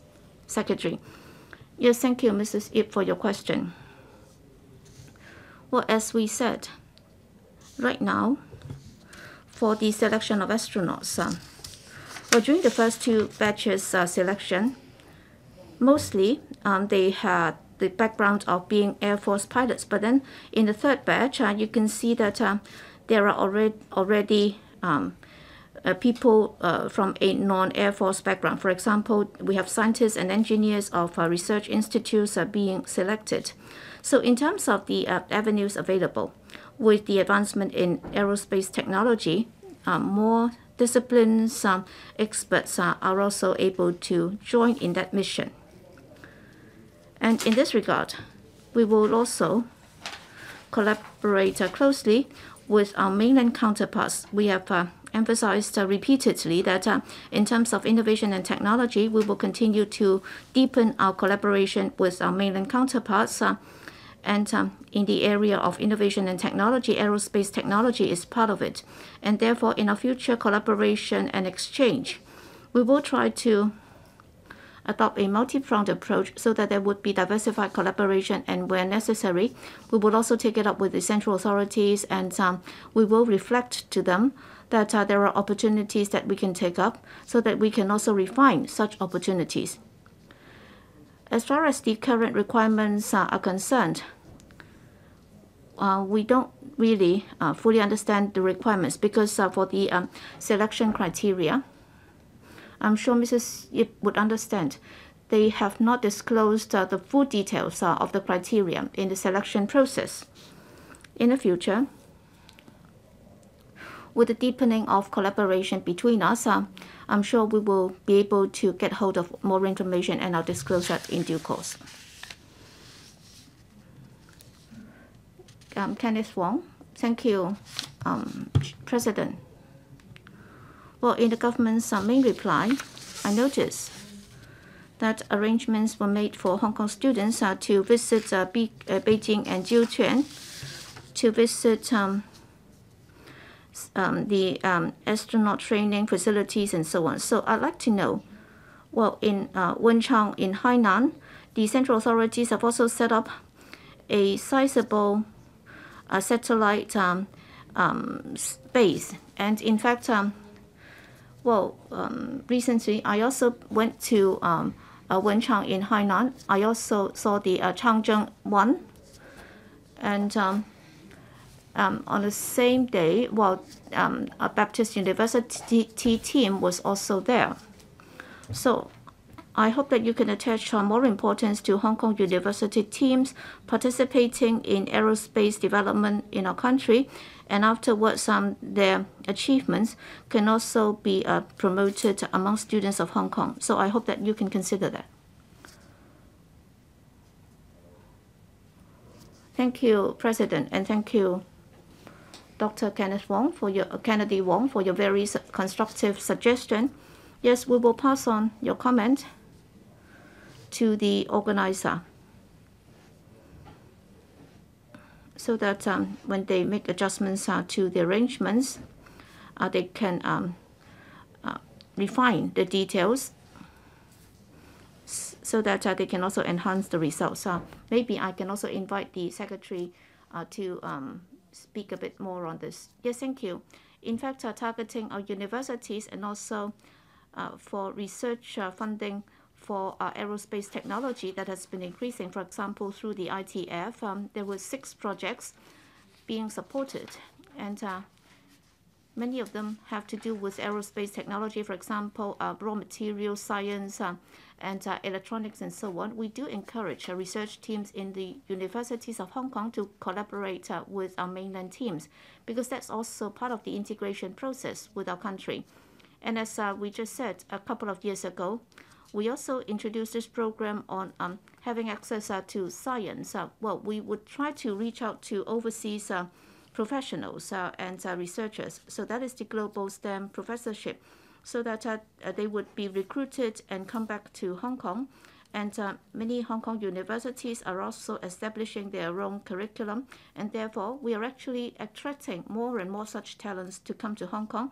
And in a few years' time, I'm sure Hong Kong's aerospace uh, studies uh, will, de will develop rapidly, and um, that would also include more exchanges. And um, well, research students and also university students would also have a chance to have more contacts. Uh, and I'm sure we will also contact our counterparts on the mainland, and uh, our researchers uh, in the universities would also uh, take the students to Jiuquan and Beijing and other places in, Hong in China to visit them. Yes, Mr. Ma Fung-kwok. Thank you, President. I'd like to ask uh, about uh, part three of the question. If uh, Hong Kong students would like to take part um, in aerospace missions, uh, they might have to have a military background. But then, well, for many Hong Kong young people, many of them are willing to consider joining the um, military of our country so that they can also be the defenders uh, of our national security. I think uh, in a country, that's uh, the obligation of the, the youth. And indeed, uh, that is also the aspiration of many Hong Kong young people. But then uh, the SAR government has yet to make such arrangements to enable Hong Kong young people to join the army in whatever form so that they be able to get involved uh, in the work of uh, the military so that they can defend our country. They can also acquire knowledge of high technology and be involved uh, in research and development projects like this. So I'd like to ask the SAR government, do you have any intention or consideration to meet the aspiration of our youth are to be uh, loyal to our country because they'd like to be the defenders of our country's security. And at the same time, we can also nurture many young talents uh, so that uh, they can also uh, have a chance to develop their skills in, in aerospace technology. Thank you, President, and thank you, Mr. Ma, for your question. First, in accordance with the Army law um, of our country, there is no requirement for Hong Kong young people to be drafted into the Army. And if um, Hong Kong young people would like to display their loyalty to our country, I'm sure there are many channels available. Well, in different uh, positions, well, um, if they are patriots to our country, so long as they can hang on to such um, um, uh, mindset, um, if they have a sense of uh, identity, sense of belonging, and sense of pride to our country, then I'm sure they will be able to make contribution to our country. Thank you. Last question requiring an oral reply. Dr. Kennedy Wong. President, it's been reported that on the 25th anniversary of Hong Kong's return to the motherland, the government advertised through the Hong Kong Economic and Trade Office, ETO, in Brussels, Belgium, on trams in Brussels to celebrate Hong Kong's return to the motherland. Although the content of the uh, advertisement has had been passed by the local transport company and the outsourced advertising contractor concerned, the advertisement was uh, e- eventually pulled by the tram company due to the complaints from a group of anti-China netizens. In this connection, will the government inform this council one whether similar incidents have occurred recently when other overseas ETOs of the government are carrying out uh, promotional work on celebrating Hong Kong's return to the motherland? If so, how the authorities follow up such incidents? Two, whether in the light of the aforesaid uh, incident, the government has assessed the difficulties that it may encounter in its work on publicizing and promoting Hong Kong in future, and how it would deal with such difficulties. And three, of its plans to introduce in detail the actual situation of the 25th anniversary of Hong Kong's return to the motherland and the successful implementation of one country, two systems in Hong Kong to international partners of Hong Kong through its overseas ETOs, and whether it will formulate key performance indicators for the relevant promotional work, if so, of the details, if not, the reasons for that. Secretary for Commerce and Economic Development. President, the 25th anniversary of the establishment of Hong Kong SAR of the People's Republic of China is an important milestone for our country and Hong Kong SAR. Under the theme A New Era, Stability, Prosperity, Opportunity, the Hong Kong SAR government has organized a, a series of promotional events around the world, signaling Hong Kong's new chapter of governance and prosperity, and the Hong Kong will endeavor to integrate into the overall development of our country, proactively aligning with uh, national development strategies such as the 14th uh, five-year plan, the development of Greater Bay Area GBA, and high quality development under the Belt and Road Initiative. As the overseas official representative of Hong Kong SAR government, the 14 overseas Hong Kong economic and trade officers, ETOs, have partnered with government departments and agencies, including the Information Services Department, Invest Hong Kong, Hong Kong Trade Deve- Development Council, and the Hong Kong Tourism Board, as well as uh, chambers of commerce and professional bodies, to organize over 160 events. These events um, uh, comprise Hong Kong Month, Hong Kong Week, seminars on the Belt and Road Initiative and the GBA, and art and cultural performances, roving exhibition, dragon boat races, food festival, etc., showcasing Hong Kong's efforts and achievement in the past 25 years, and fostering confidence and hope across all sectors overseas to jointly welcome a new era. As regard the three parts of the question raised by Honourable Kennedy Wong, uh, my reply is uh, as follows. In cele- 1 and 2, in celebration of the 25th anniversary of establishment of Hong Kong SAR, Brussels ETO has organized 14 events, including Hong Kong Month in Europe. In June this year, Brussels ETO launched a publicity campaign themed Hong Kong is moving ahead. Hong Kong trams in Europe in Brussels, Istanbul, Lisbon, and Milan, spreading the news of the 25th anniversary of the establishment of Hong Kong SAR across Europe. Furthermore, in line with the promotions of the 15th and the 5th, 20th anniversaries of the establishment of Hong Kong SAR, Brussels ETO planned to dress Manneken Pis, the Brussels tourism attraction, in his Hong Kong costume previously donated to the local city government. Throughout the planning of these two events, Brussels ETO have maintained close communication with the relevant public transport authority and the city government.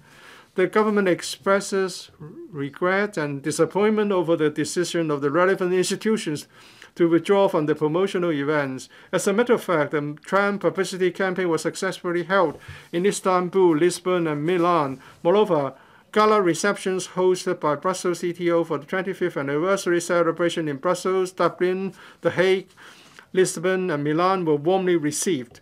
and the reception cum exhibition on the West Kowloon Cultural District held in Paris was favorably reviewed by international travel news media. The, the ASL government expresses gratitude to all sectors for their support in these events. In addition, with the support from all sectors, the gala dinner in Toronto and the art exhibition in Richmond were successfully successfully organized by Toronto ETO for the celebration of the 25th uh, anniversary, despite nuisances caused by a small number of protest protesters. The government regrets that certain individuals caused nuisances to the celebration. These were isolated incidents.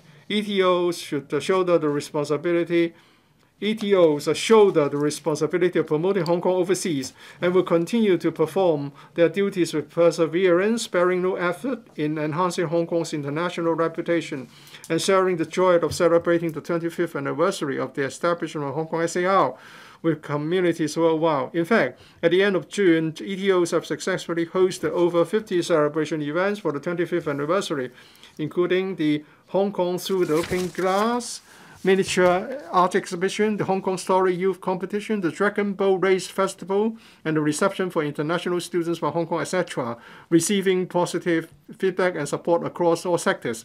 For example, in May this year, the then Secretary for Commerce and Economic Development officiated the open, opening ceremony of roving exhibition and attended a business luncheon with more than 100 participants from the com business community for the celebration of the 25th anniversary in Bangkok, Thailand.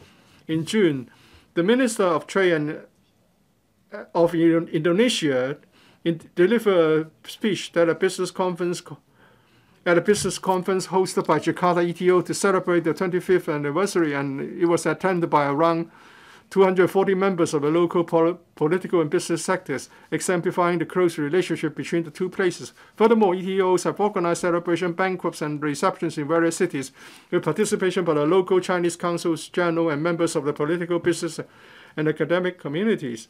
ETOs have been providing updates on Hong Kong's latest situation to stakeholders from different sectors, including members of political, business, and academic communities, think tanks and media outlets actively promoting the successful implementation of one country, two systems, Hong Kong's new chapter of governance and prosperity following the enactment of national security law, and pages administering Hong Kong, as well as Hong Kong's important role under national development strategy, such as the 14th five-year plan, the Belt and Road Initiative, and high-quality GBA development attracting investment and discovering more collaboration opportunities. Through organizing various celebration events for the 25th anniversaries, ETOs have uh, deepened collaboration with overseas stakeholders and promoted the achievement of Hong Kong as an East and East-West center for international cultural exchange. The external promotion of Hong Kong is part of the regular duties of ETOs.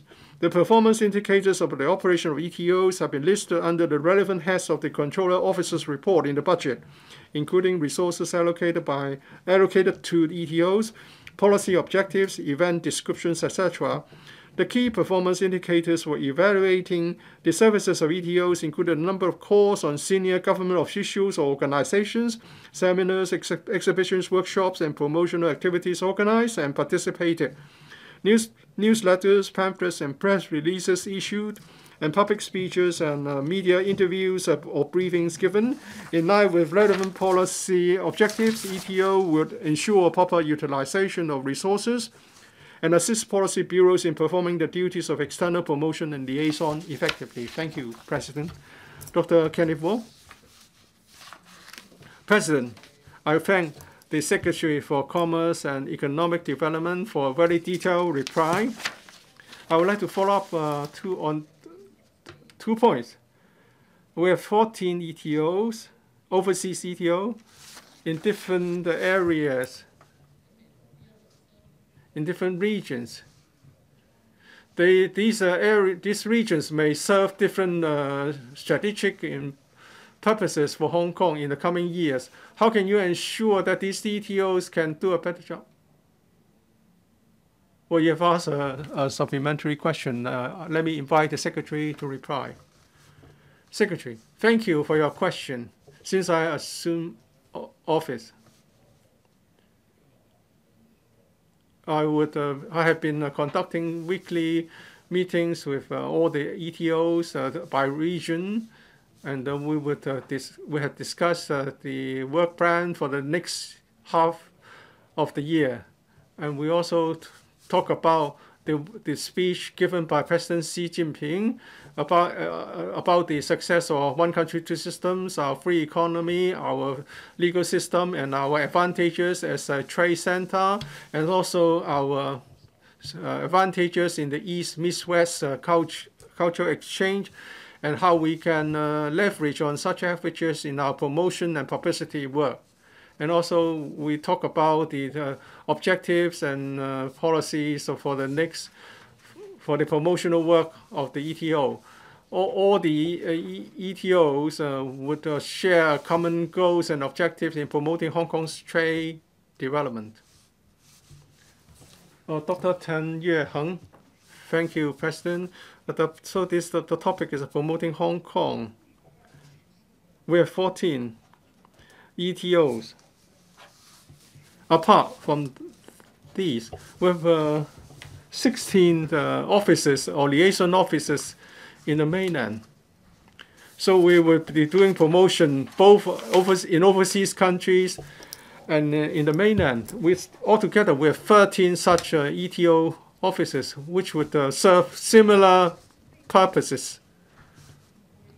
Although mainland uh, ETOs are not are not guided by the uh, CS, CEDB, but do you have uh, any uh, unified uh, systematic uh, promotional plan for all these uh, overseas offices? If not, perhaps you should consider adopting a consistent approach for all these office overseas offices. thank you for the question. Although mainland offices are not under the CEDB, uh, but uh, these offices uh, have um, serve multiple purposes, not just trade, and they would uh, carry out duties uh, in line with the particular bureau's uh, policies. We have mainland trade offices, and also together with the Trade Development Council and Invest Hong Kong, we have collaboration projects we will promote Hong Kong's uh, trade and economic uh, investment in with uh, TDC. We have 65 uh, offices, uh, uh, including those of Invest from Invest Hong Kong in 128 countries, where they organize meetings, seminars, and promotional sessions so that we can be integrated in the, the country's development and the dual uh, circulation economic uh, program. Uh, and we also uh, facilitate the going out uh, strategy of mainland enterprises. We have adopted a promotional strategy uh, because of the epidemic.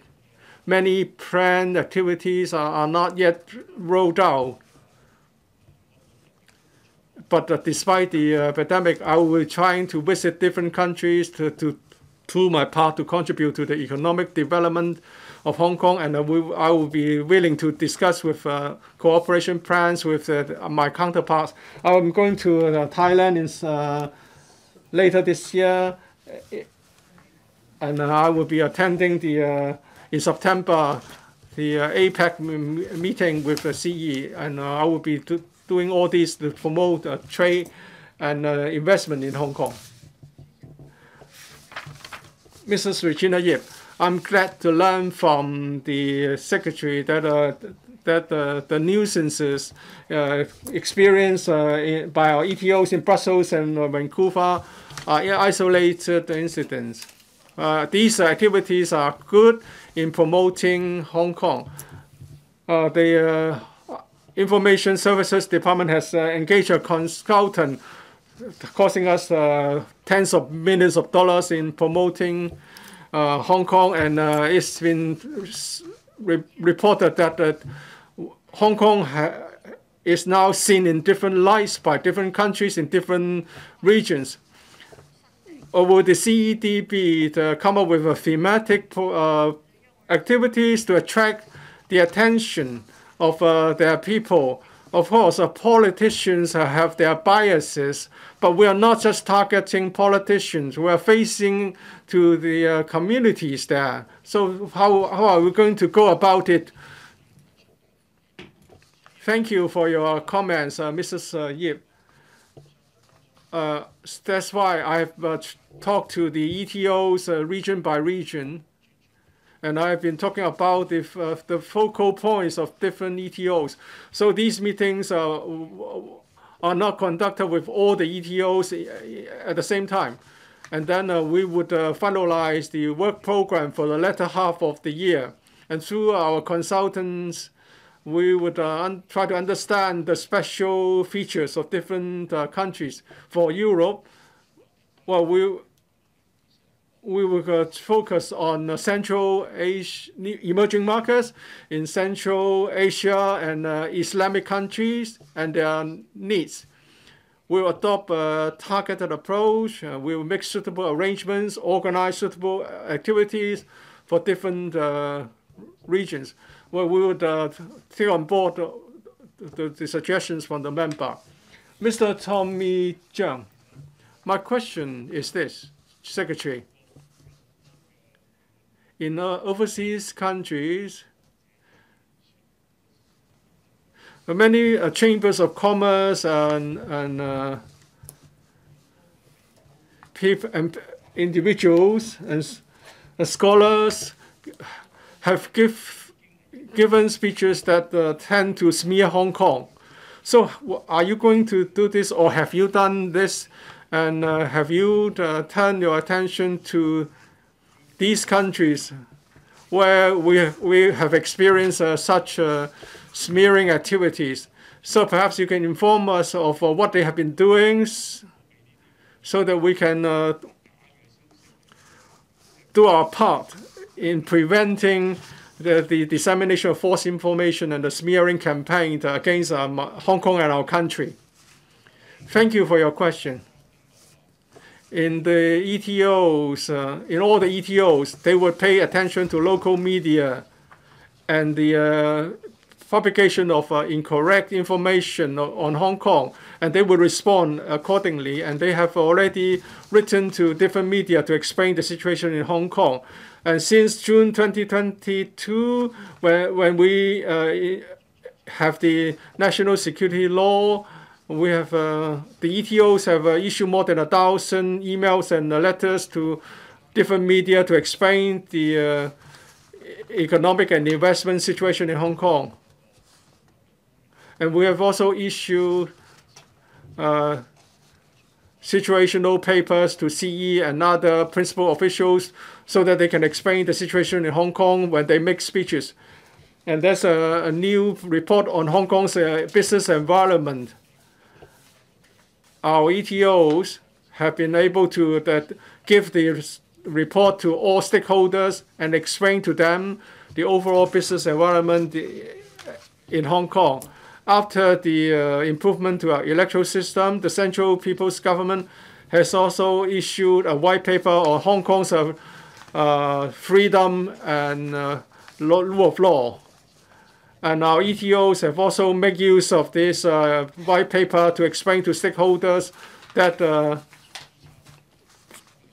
that the new opportunities and the system systematic uh, foundation of our uh, business environment. And uh, they, they, they will also provide reports and um, response to appro- to their situation appropriately, and also to remind different bureaus of uh, matters of concern that they should uh, pay special attention to. Well, is your question not answered? Well, the secretary has not uh, look answer my question as regards uh, whether you would uh, assess uh, speeches given by chambers of commerce or universities. Have you done that? Well, this is a very valid question. The ETOs uh, is in constant uh, communication with uh, the business community, scholars, and uh, schools and, and universities. Uh, there will be regular uh, briefing sessions and we will, they will also make use of different uh, platform in the community and then we will disseminate our information uh, and uh, full pictures and paper And we also pay attention to the messages uh, expressed through such media so, so as to understand the local situation and comments on Hong Kong.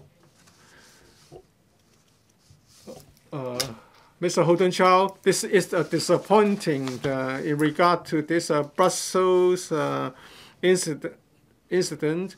In order not to give people the false impression that uh, we would withdraw once uh, they threaten us.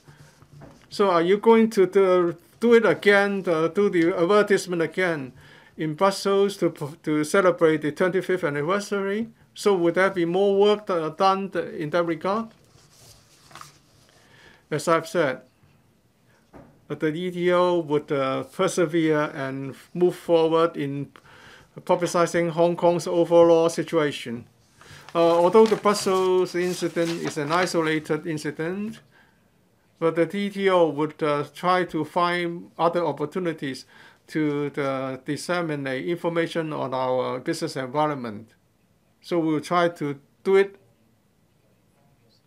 again so that citizens of uh, and the government of Brussels will understand Hong Kong and then we can uh, improve things gradually.